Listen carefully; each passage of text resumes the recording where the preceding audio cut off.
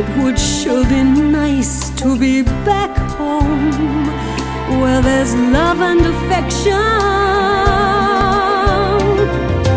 And just maybe I can convince time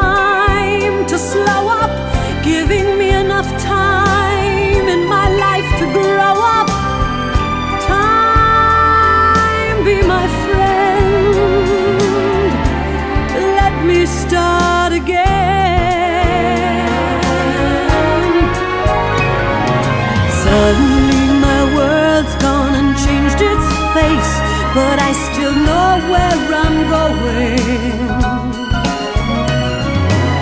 I have had my mind spun around in space, and yet I've watched it growing. If you're listening, God, please don't make it hard to know if we should believe the things that we see.